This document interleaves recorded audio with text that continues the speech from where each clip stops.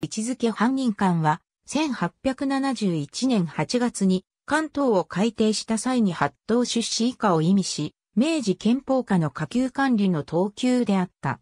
高等官のもとに位置していた。第二次世界大戦終結後は3級と改められた。例えば検察庁法第27条第2項では検察事務官は2級または3級とする。と定めている。犯人官は天皇の任命体験の委任という形式をとって各行政官庁が任命していた。コイン、容認と異なり、国家と広報上の関係に立つ管理である。1等から4等までに分かれていた。なお、犯人官ではないが、犯人官に準じるものとして、犯人待遇という位置づけも存在していた。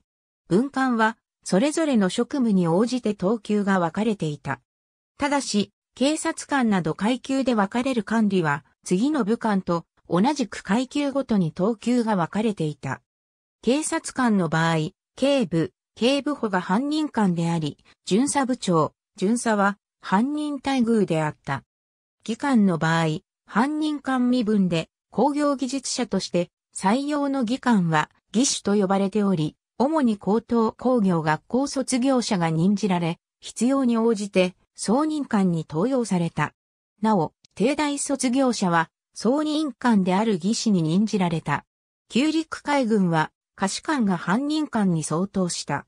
総任官同様に階級ごとに等級が決まっていた。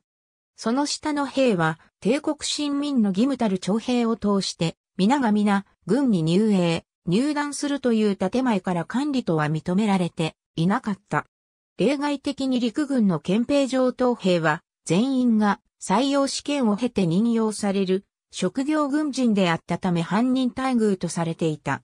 新任官及び所管級別例。ありがとうございます。